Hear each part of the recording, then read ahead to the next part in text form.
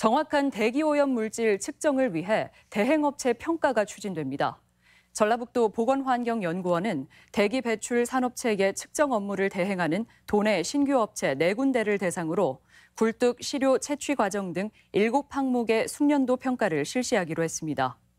도내 일부 대행업체들은 불충분한 시료 채취와 기록 조작 등으로 무리를 빚은 바 있어 부실업체를 가리는 데도 영향을 미칠 것으로 보입니다.